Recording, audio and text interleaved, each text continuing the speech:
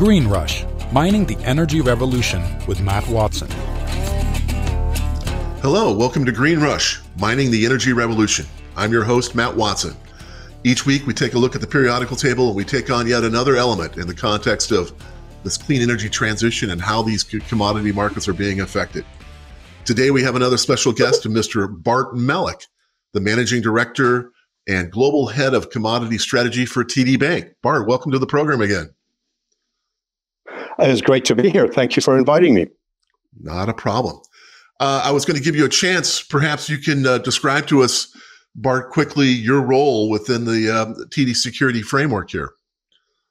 Well, as you said, Matt, I'm the managing director and global head of commodity strategy uh, for TD Securities. So it's not just me; it's uh, me uh, and my team. And our fundamental role is to support the trading desks um, in various centers around the world. That includes New York, that includes Calgary, uh, Houston, London, and Singapore.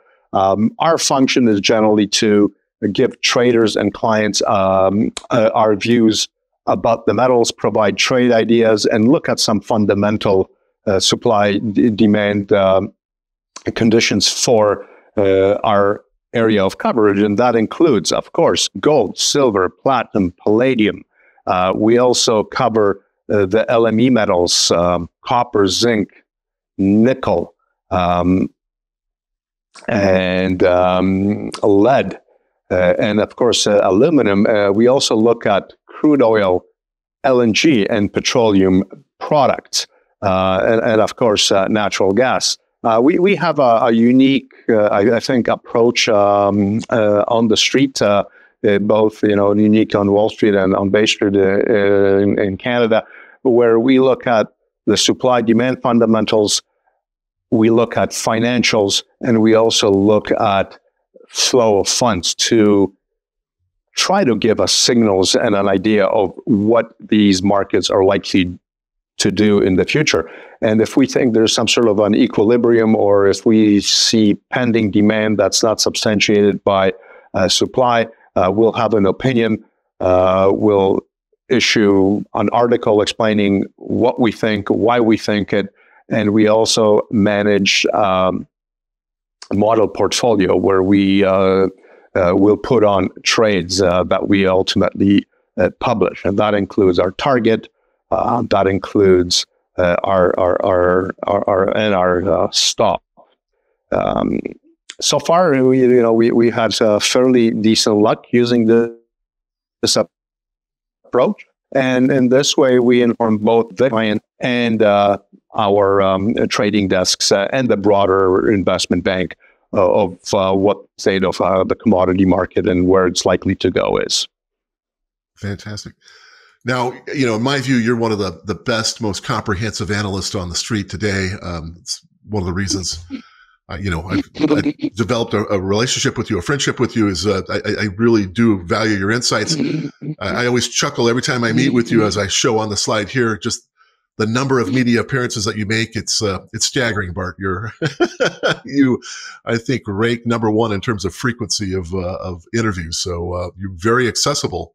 Um, so thank you for that. Um, uh, you know, we, we we do make an effort. Uh, myself and my team, of course, it's just not only me. It's uh, uh, uh Daniel Ghali and Ryan McKay, who are also part of the team, and uh, you know they do their fair share um, of appearances and work as well. So with, with, their help and our, our macro team as well, our FX team, we're in a good position to be informed about the, the, global market and makes things a lot easier uh, for us. It, you know, it looks like we're all doing it all ourselves, but it's with a lot of help uh, from within the institution and, and, and colleagues like yourself as well. And by the way, uh, thank you very much uh, for the kind words. Well, you know, I, I, think there's value in studying the commodity markets writ large, right? I, I think there's specialists that get into individual metals, and and I, I think that they're lacking in many cases because they don't have a broader context. And so it, it forces you to, to view the whole market as a whole, which I, I, think is absolutely needed in today's environment. So let's jump into our, our conversation for today, and that's gold and silver. And here's a, a 24 year historical on the, uh, the fix. And um, it, it's just shocking what's gone on here in the past couple of weeks. I, I think it's fantastic for gold and silver both. Uh, that's why I, I, had this program scheduled later in the year, but I, I pulled it up based on these uh, most recent market uh, spikes. And and you know, I I, I want to go through some of this data on supply and demand with you on on gold in particular. You know, when you look at gold and over this 24 year history, it's averaging, uh, you know, the fix is increasing with a CAGR of about 8.8 percent. Silver is growing at about 7.8 percent. Um, there's some noise around that, but the R squareds on both these are, are close to 90%. So fairly strong, just time series correlation that these things are climbing over time. Um, and yet we've seen a, a, really significant spike here. Can you talk specifically about this most recent spike that we're seeing, Bart?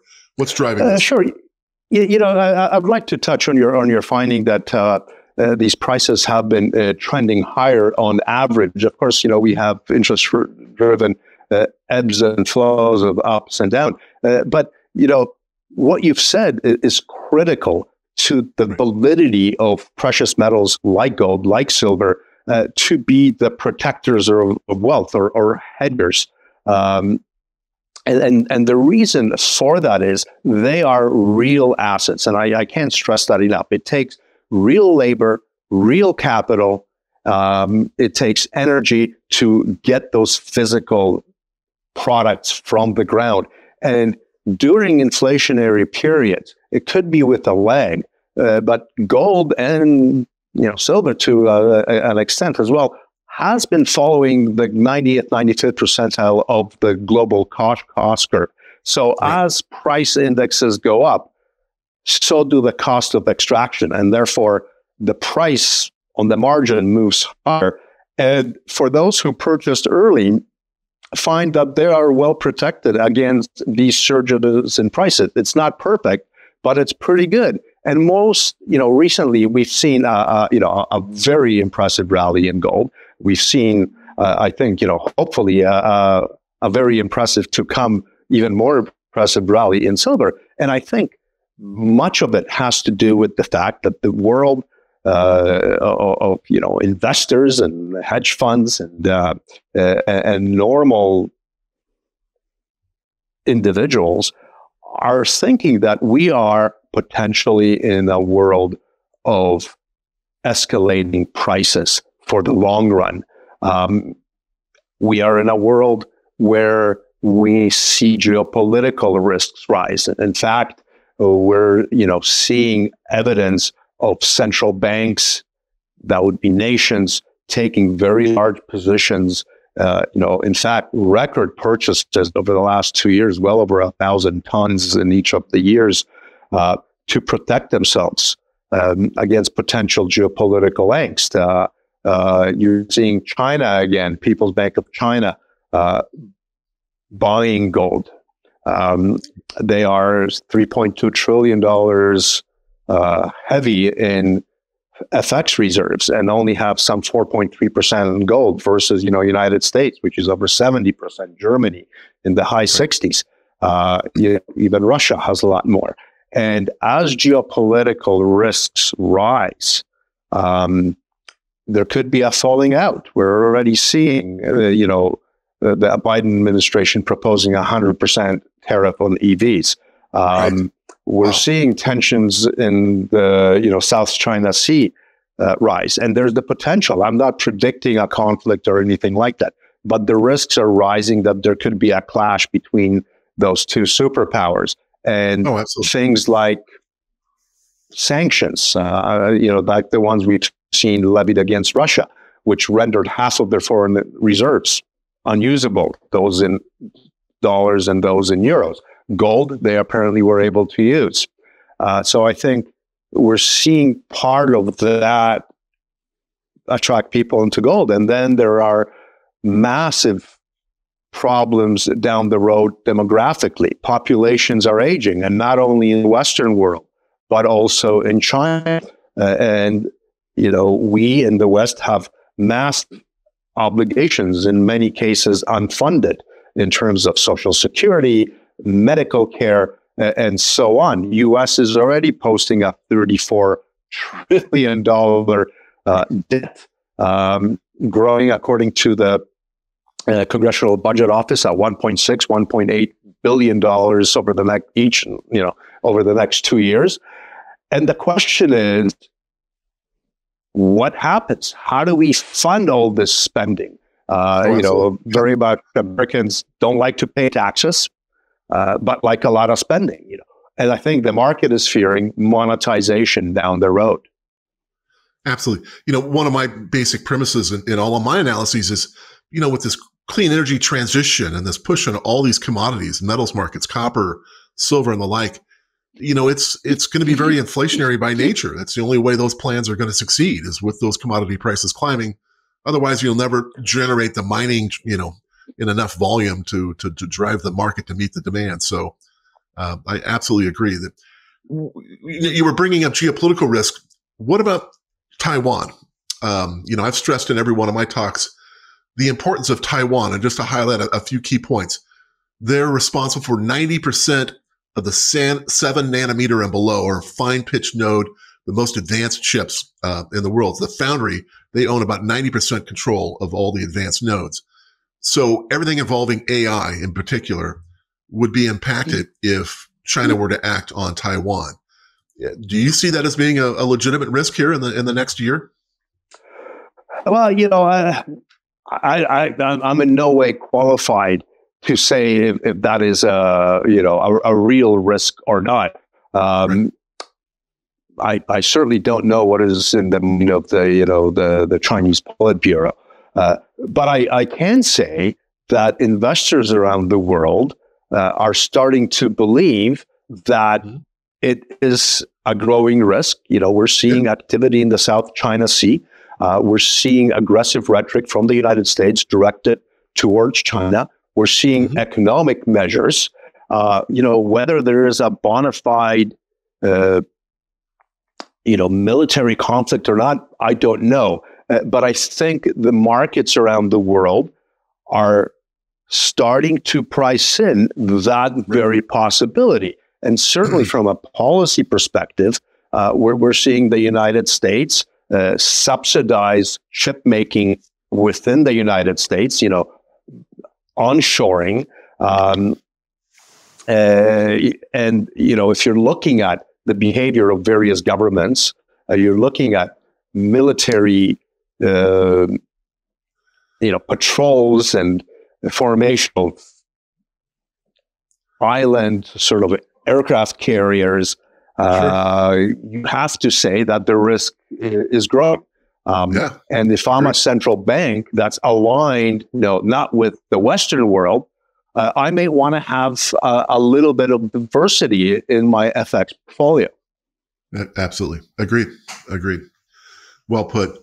Well, let's talk. You know, I'm a pretty fundamental supply demand guy. So let's talk about the gold um, supply and demand statistics. This from the uh, the World uh, Gold Council from their Gold Hub you get a sense here of the uh, supply, mine production versus recycle. Yeah, recycle has been a little bit elevated over our historical, but uh, I don't think anything that dramatic. Um, and yet, now let's roll over to the the demand statistics. It's a pretty simplistic set of buckets of demand here. It's it, you know central banks, you know investment products, bars and coins, uh, lots of jewelry, uh, but only six to nine percent historically is technology demand, uh, including semiconductors, electronics, medical and diagnostics, and there's a few other areas of demand. But really, the industrial demands are are really not that large on gold compared to the rest of the precious metals basket. Correct? Yeah, and and that's been the case. You know, gold has uh, is much less of an industrial metal uh, than silver. Silver, you know, comprises some sixty percent of the you know, of its demand uh, from in, industrial sources. So they are very different uh, in, in, that way. And um, I think the interesting thing about gold, uh, to the extent that it's money, uh, but you know, for what it's worth, I do think over time, uh, as you know, G5 or 5G becomes you know entrenched and then globally, uh, you know, when when we get more and more EVs that will have massive amounts of computer power in them and, and, and electronics and then eventually self-driving. Uh, as that market spreads outside of the you know highly industrialized nations uh, globally, uh, uh, you know, gold is, uh, as of course, every, you know, audience most likely knows, is an excellent conductor. So I, I right. do expect that industrial component uh, to to grow slowly. I still think it'll continue to be a monetary metal, and that's what makes it very, very different than all the other metals. Uh, unlike copper, unlike aluminum, when you use an ounce of gold, you know, you, it doesn't usually get lost. We don't throw it out. It's in some sort of inventory and it's relatively easy to recycle. And right. unlike other metals, there are thousands and thousands of tons of above ground inventory held by central banks, by bullion banks and by investors. And what makes it different than all the other metals, its peers, is that it is a lot more sensitive to the interest rate environment because right. As the costs of carry increase, incentivizes inventory holders to lend the metal out, to swap it out and outright sell it and substitute it for bonds, which yield, you know, you know, in today's case, at two year bond is almost at 500 basis points, at, you know, uh, 4.96% or, or, or something uh, like right. So, unlike all other metals, gold is a lot more sensitive to the financial environment. And we found one of the biggest drivers uh, over the longer term is the real interest rate, the difference right. what between inflation and what bonds are paying. And right. I think part of the reason why we're expecting, why we're seeing, you know, gold at record nominal prices, and in fact, we're nowhere near the record real price. When I go back to, you know, uh, the pre-Volcker era, if you recall, uh, I've estimated in today's dollars, price was about 3,405 or something like that. So much higher than it is today. So there are potentially, in real terms, is still uh, ways to go. Um, right. But that will very much depend on what the real yield is.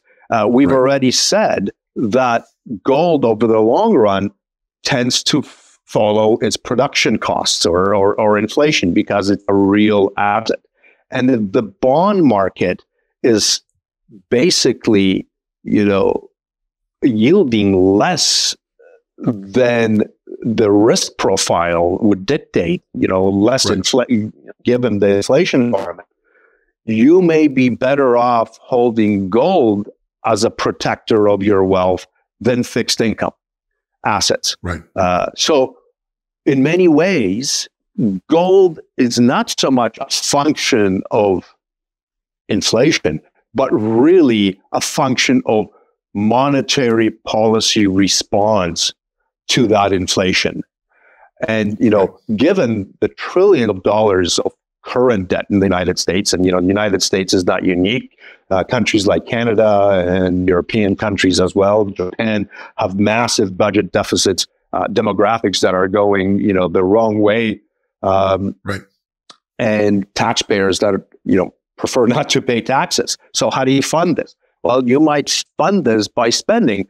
And essentially, you may have potential growth that is too high for the economy's ability to deliver goods and services.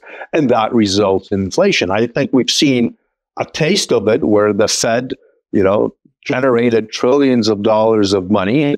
Uh, initially, nobody you know, took mind of it and thought it was transitory.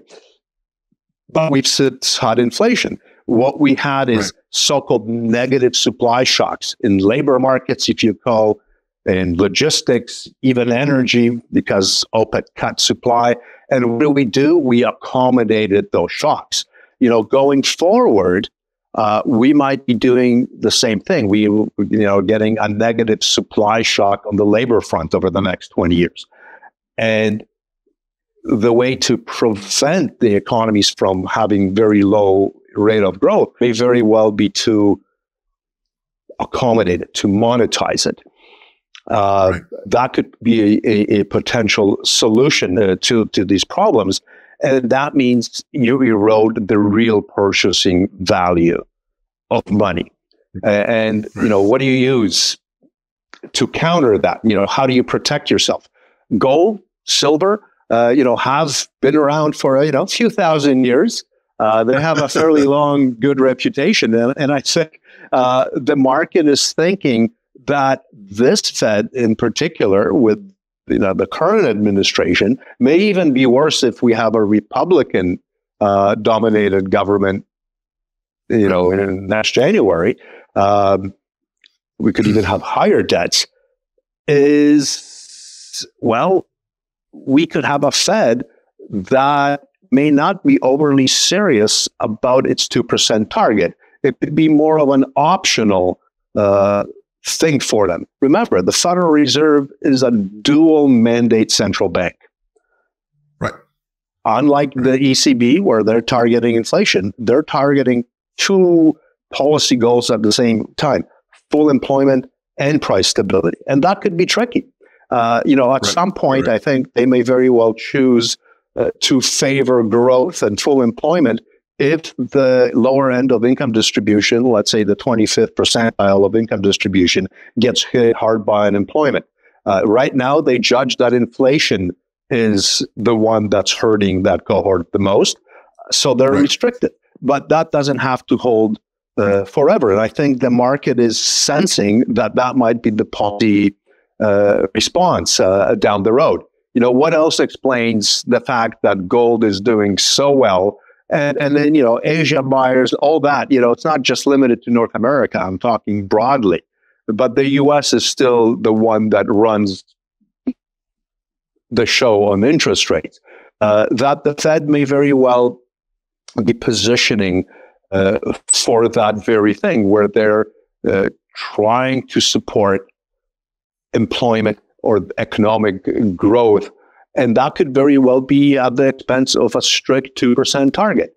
I don't know for sure. I don't know if anybody knows, but certainly the price action around the world has is, is telling me that investors are starting to contemplate that possibility. Right, right. So on this next slide, just a good segue. I, have got the central banks, the uh, the gold reserves, um, and you can see the trend. Do you make anything of 22 and 23? We're seeing uh, you know a spike in in in, in the buildup of reserves?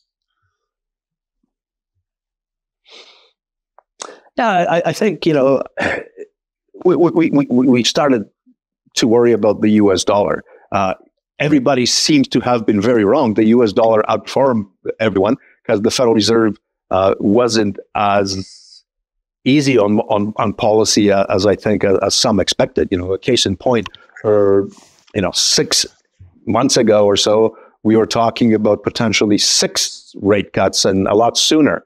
Uh, now we're maybe talking one or two this year, starting in late, you know, uh, late summer at the earliest, and potentially uh, not at all uh, th- this year. Uh, but but still, I, th- I, think the fear is that the U.S. dollar uh, will ultimately ease up.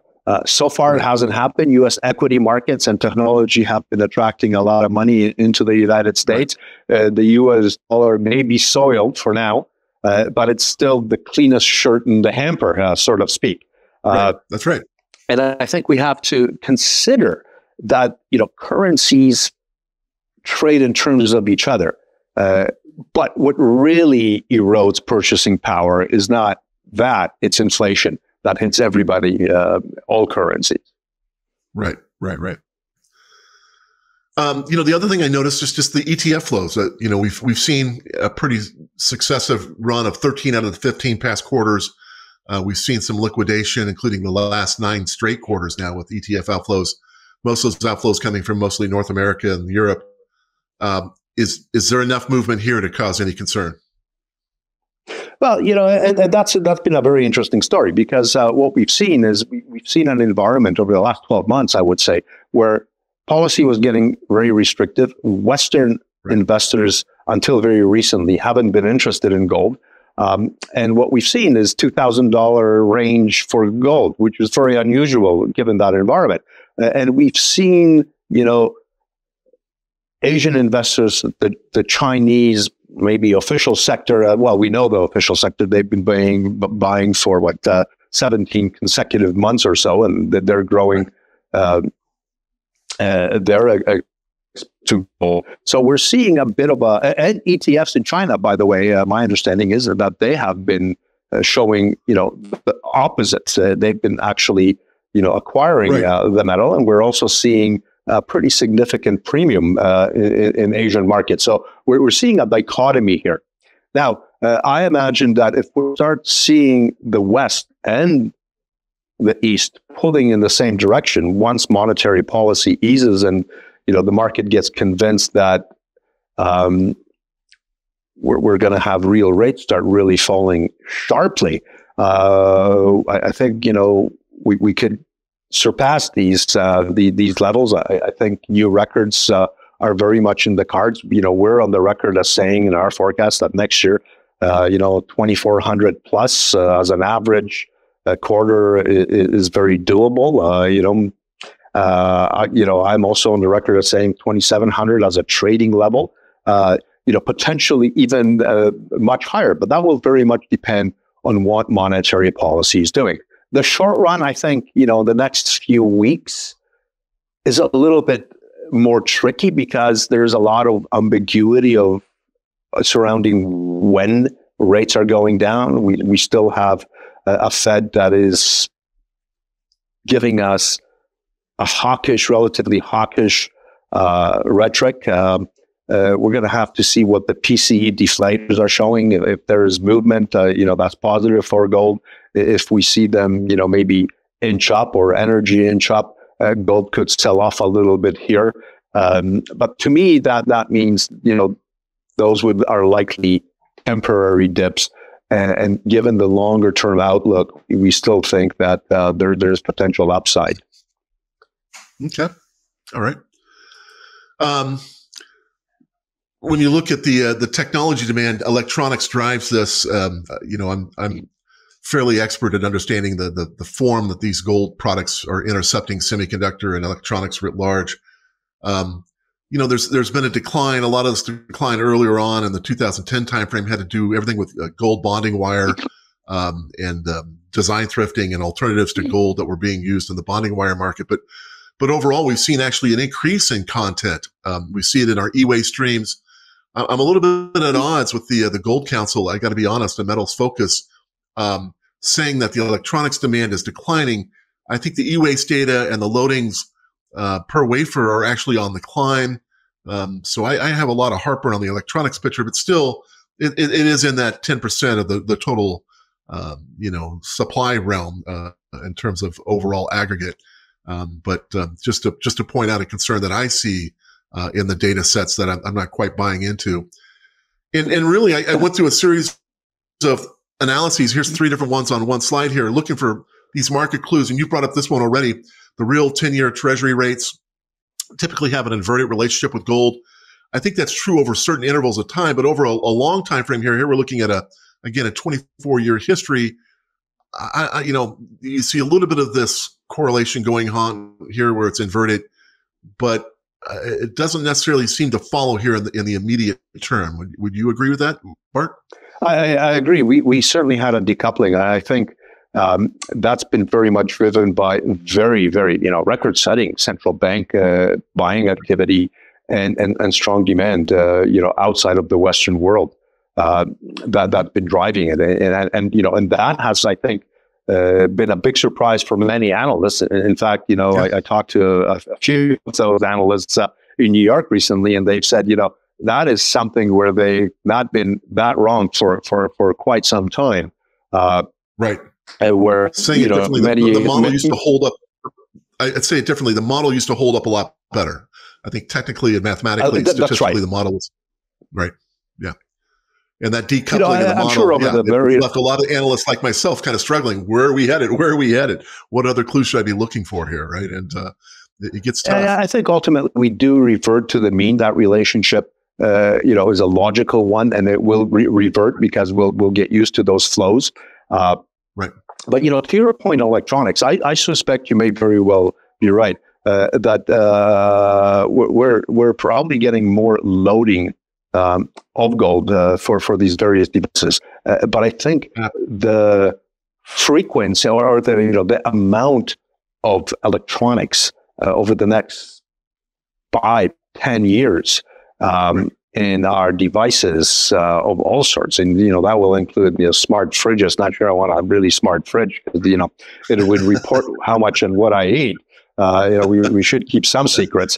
Uh, uh, but you know, I think we're going to have a lot more electronic devices everywhere. Uh, yeah. Our vehicles, uh, our refrigerator, and you know, uh, maybe our, our, our freezers. You know, our TVs are pretty electronics and you know, who knows? Maybe personal uh, uh, neural sensors and and, and control units. I, I right. think as time moves on, we'll see more of it. And gold is, you know, one it's non-reactive. You can, you know, even embed it in, in skin with, with, with little consequence. And, um, and it is a superb, uh, conductor. So you can have, you know, uh, you know, a nanometer thick layer that, that still conducts uh, fairly well and, and, and non-corrosive. Uh, so, you know, I, I suspect, you know, I'm, not, I, I don't think I'm qualified, uh, to argue with, with people for the next two years, but I think just intuitively uh, looking over the long run and seeing where technology is moving, where AI is is moving, and as right. those technologies get absorbed into the broader economy globally, um, right. I, you know, I, I don't believe that we're going to use less. Uh, I think we're going to use more over the long run. Uh, you know, three, four, five, ten years down the road. So, I'll be um, speaking at uh, the LBMA annual conference in Miami this year. Um, they have me on a treasury, um, or excuse me, on a, a silver group. They, they, they, they're curious about the relationship with AI. So I'm glad you brought that up. These AI data centers. If you're an e-waste guy and you're hunting for scrap, the most valued electronics waste on the planet is the decommissioning of these data centers and these AI centers because the contents have been climbing so much. The server blades, all the printed circuit boards surrounding all the hard drives that are used. It is the premier target. And yeah, we're having an explosion in AI. So uh, yeah, yeah, another metric that I just think that some of the reporting on this, uh, the technology demands are, are, are understated uh, mm-hmm. a bit. And uh, it's just an area where we could, I think, improve some of the reporting. I don't really see a relationship though, uh, holding up uh, with platinum or even the gold silver ratios, looking at those over some larger periods of times. I, I'm not sure those are really providing any meaningful signals to me. I don't know if you feel any differently, Bart. You know, I'm I'm not a big fan of, of ratios because you know they're made up. Uh, I, am more interested in in, in you know, well, you know, technicals generally are, are are you know are kind of made up. They're not fundamentals, to, but uh, they still work in, in many cases because if you have pro, uh, a large propor- a large enough proportion of the market believing in, in, in a certain thing, uh, uh, they will structure their trades and targets uh, around these levels and uh, and will, will kind of move uh, to them deterministically. But but to me, it's really the marginal cost of production that right. matters, and that I think. what's particularly for, for silver, what's interesting down the road is we're going to have these structural deficits for I think uh, you know at, at, least for as long as I've uh, done the forecast, and, and, I think you know I'm not the only one. Metals Focus and and other uh, most likely agree. Um, as the demand for solar, which is now using more loading of silver than, than before, of the demand for everything from you know capacitors to printed circuit board in vehicles, you know, upwards of two ounces now per vehicles in an EV. Um, as that demand grows, we really have not seen huge investment in copper, zinc mines, lead mines. And you know, why am I mentioning these when I talk about silver? Well, because you know, sixty two thirds of all silver is a byproduct of base metal production. Uh, nor did we see you know amounts of investment in, in, in primary silver uh, as well. Certainly relative to the projected demand. Uh, so we're, we're in a structural deficit environment for silver. I think. Um, yeah, agreed. And absolutely agree. It had some, you know, eh, but that's that. That's not a that, that's unnecessary, but necess- not, not, not a sufficient condition for a surge. Um, because until very recently, we had a lot of available above ground stocks uh, that if the interest rate environment was favorable, like like now, you know, high interest rates, uh, you would lend the stuff out, and you would close your physical position and and sell it, and maybe swap it out for a bond that gave you you know 600 700 basis points if you know if you were taking credit risk uh, you know a few hundred basis points uh, above uh, uh above treasuries if you if you were you know uh, uh, that would disposed in, in, in, your risk appetite right. but as, as time moves on i think silver will increasingly decouple from the vagaries of interest rates as those inventories above ground get eroded you know, there's less and less of it available freely to lend and borrow and, and play in the market. Uh, those gaps will have to be closed up by maybe demand destruction. And then we're in a, you know, in a brand new environment. I think some economists like me like to call it uh, sort of strategists. You know, I'm not quite sure what I am uh, sometimes. Is we're an auction price environment where we're functioning above the cost curve. It's no longer the marginal cost of production it's the marginal revenue unit of silver that determines the price. And, and that's almost impossible to, you know, to determine the, a priori the market. The market has to work and, and find that level. But what does it mean? Well, if I'm short of silver and I can't get above, you know, I can't incentivize anybody to get rid of their inventory. Well, it's physical commodity. I can't use more silver than actually is physically available. You know, right. I, I, can't go on my computer like I can with money supply and entry. So I have to convince somebody who needs it to give it to me. And and right. why would they get, you know, and how would they give it to me? Well, essentially, I have to give them enough money to compensate them for the profits and the risk of shutting down or whatever production facility they have so I can put it maybe in my hundred thousand dollar vehicle uh, that I can't produce without that silver. You know, it's right. not going to be direct. You know, uh, an auto company giving uh, money for silver. It'll be the producer of the electronics that are needed by the auto company. Uh, and I think that could be a factor for a while until that market comes into an equilibrium and prices are high enough to stimulate demand. And we know it takes upwards of, you know, seven to 10 years to put a new project into production. Um, right. And that that is going to be a very interesting environment in the next few years, uh, I think, for silver and copper in, in particular, because Agreed. these metals are critical uh, right. to you know the transition to a net zero economy. Absolutely up on the uh, my slide deck right now. I've, this is my personal uh, uh, consulting entity. This is my long term.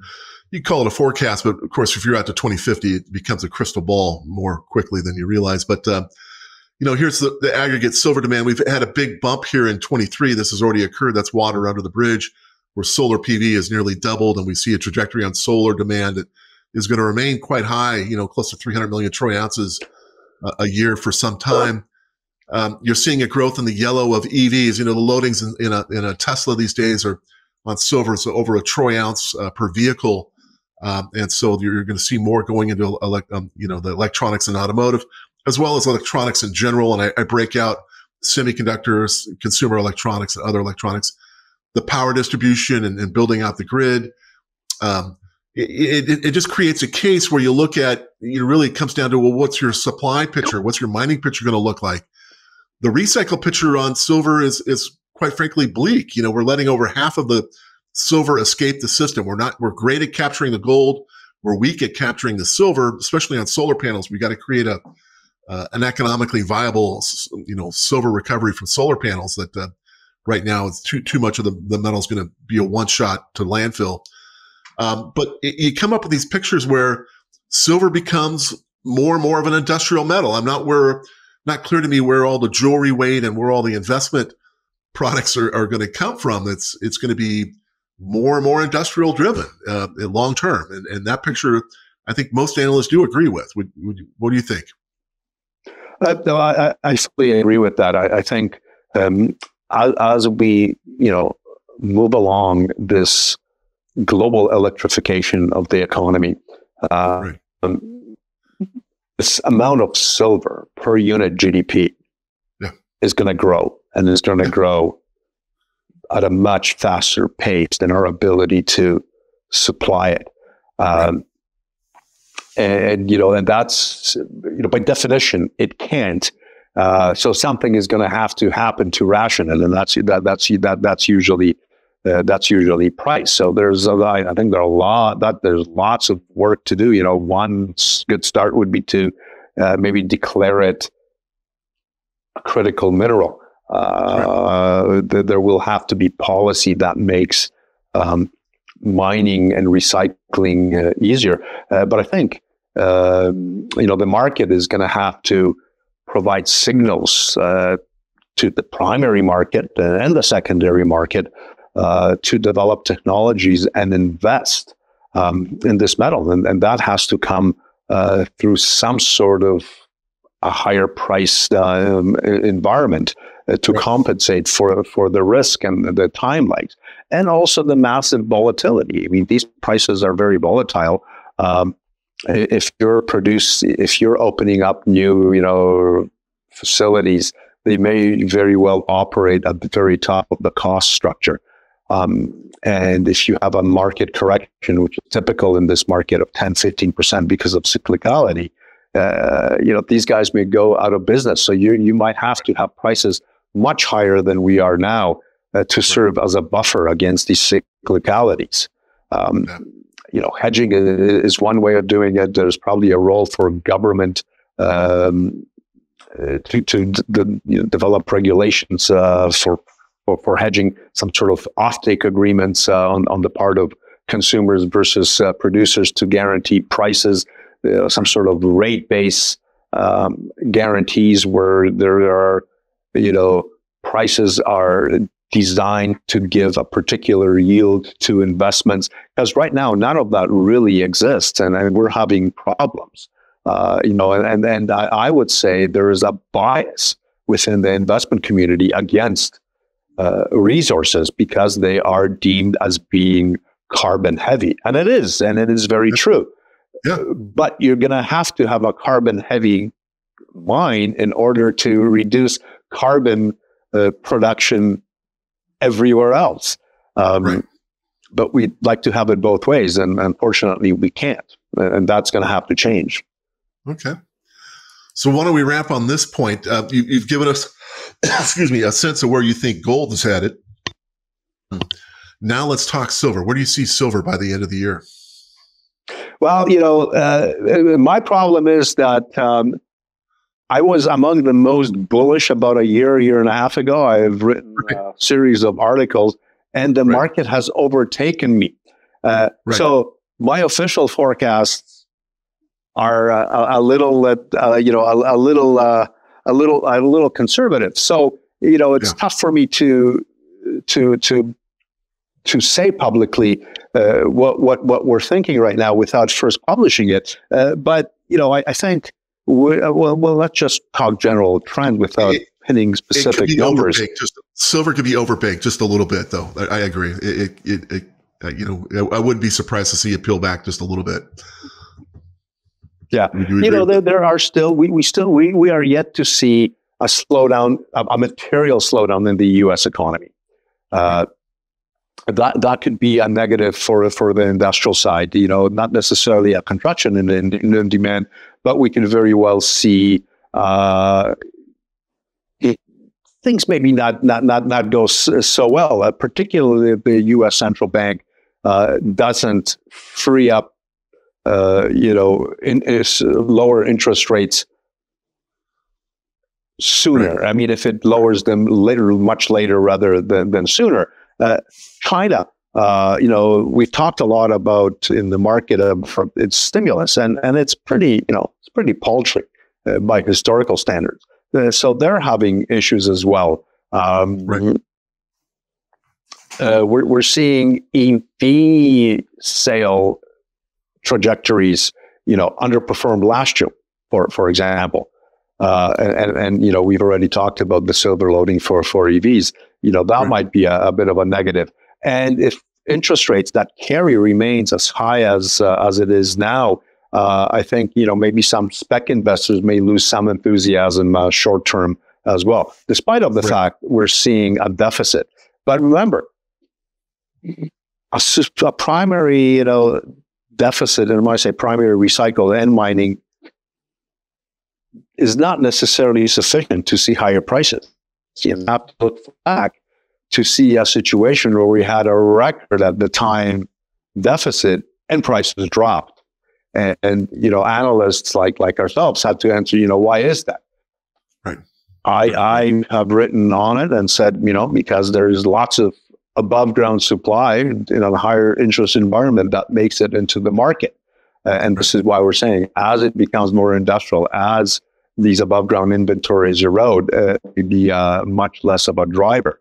Uh, but you know, but for the next year or two, it, it's still going to be an issue. I think. Right. Well, Bart, I think we've gone a, a little bit long here. But I think we got to try to wrap this up. But uh, give you a chance. Any last final thoughts that you want to share with the, the listeners? You know, I think they're probably tired of listening to me already, and I, I think I've said enough. Uh, thank you very much. no, no worries. Again, Bart Melek, TD Securities, one of the best analysts on the market. I just think the world of you. So, Bart, I appreciate all your time today. Thank you. Thank you very much. Next week, join us when we jump into the topic of platinum. I, I think this is one of the sleeper metals, a sleeping giant that's looming in the weeds. We're going to have uh, from the World Platinum Investment Council, their director of research, Mr. Edward Sterck. Uh, so look forward to that conversation next week. So join us then. Green Rush, mining the energy revolution with Matt Watson.